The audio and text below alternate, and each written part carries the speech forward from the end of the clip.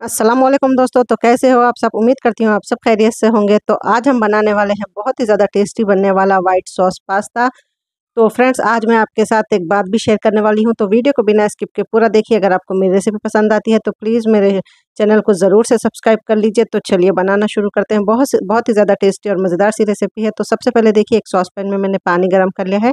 पानी बहुत अच्छे से गर्म हो गया इसमें मैं डालूँगी आधी छोटी चम्मच नमक और इसमें दो चम्मच तेल डालकर क्या करेंगे हम? यहाँ पर मैंने ले लिया है पास्ता, तकरीबन मैंने यहाँ पर एक कप पास्ता लिया है तो ये सारा पास्ता हम इसमें डाल लेंगे और इसको हम अच्छे से बॉईल होने देंगे।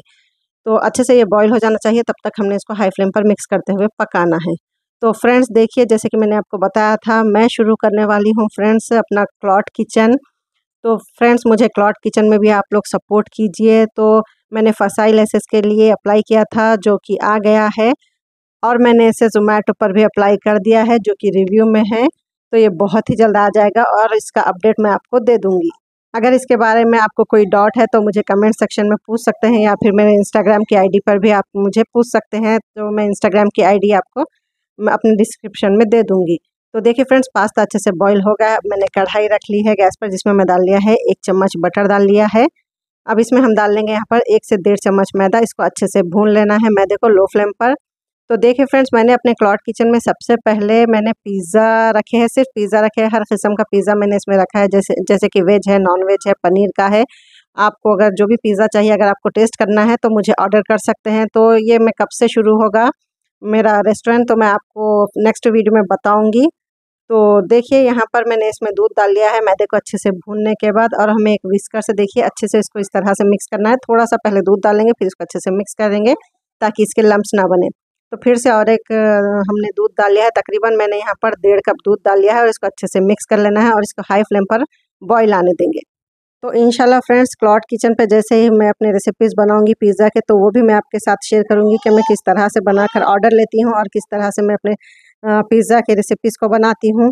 तो देखिए फ्रेंड्स यहाँ पर दूध में अच्छे से बॉईल आ गया है। तो अब हम इसमें डालेंगे कुछ मसाले। तो सबसे पहले आधी छोटी चम्मच हम इसमें डालेंगे काली मिर्च पाउडर। और उसके बाद हम इसमें डालेंगे आधी चम्मच नमक। तो नमक अपने टेस्ट के हिसाब से डाल लीजिए। आधी चम्मच हम इसमें डाल लेंगे रेड चिली फ्लेक्स और थोड़ा सा इसमें डाल लेंगे आधी चम्मच जितना ऑरिगेनो डाल लेंगे। तो फ्रेंड्स जैसे आपने मुझे यूट्यूब पर सपोर्ट किया है, वैसे ही मुझे क्लाउड किचन पर भी सपोर्ट कीजिए। तो फ्रेंड्स देखिए, यहाँ पर मैंने ऑरिगेनो डाल लिया है और हम इसको अच्छे से मिक्स कर लेंगे। मिक्स करने के बाद एक तकरीबन सिर्फ़ हमें इसको एक मिनट के लिए पकाना है। तो यहाँ पर हमारी सॉस अच्छे से गाढ़ी हो जाएगी। तो देखिए फ्रेंड्स, यहाँ पर मैंने इसको एक मिनट के लिए पका लिया है तो ये बहुत अच्छे से गाढ़ी हो गई है। तो अब हम क्या करेंगे, इसमें डाल देंगे जो हमने पास्ता को बॉईल कर लिया था और इसको हमने अच्छे से छान लिया था, उसका सारा पानी निकाल लिया था पास्ते में का। तो अब ये देखिए, ये सारा पास्ता हमने इसमें डाल लेना है। तो देखिए फ्रेंड्स फसाई लाइसेंस डालने के बाद मुझे तकरीबन एक महीना लग गया था लाइसेंस आने के लिए। तो जैसे ही फसाई लाइसेंस आ चुका था तो मैंने जोमेटो पर से अप्लाई कर दिया है। तो देखिए, पास्ता डालने के बाद हमने इसको अच्छे से मिक्स कर लेना है इस तरह से। तो अच्छे से मिक्स करने के बाद देखिए फ्रेंड्स अब मैं इसमें डालूँगी यहाँ पर थोड़ा सा हरा धनिया जो डालना बिल्कुल ऑप्शनल है।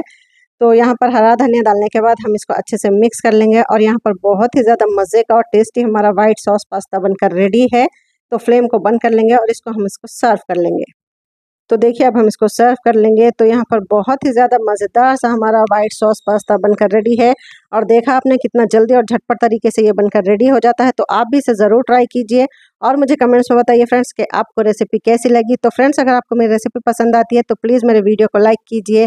ज़्यादा से ज़्यादा शेयर कीजिए और प्लीज़ मेरे चैनल को ज़रूर से सब्सक्राइब कीजिए। तो इन बहुत ही जल्द इसी तरह की कोई आसान और मज़ेदार रेसिपी मैं आपके साथ शेयर करूँगी। तब तक के लिए दुआओं में याद रखिएगा। अल्लाह हाफिज़।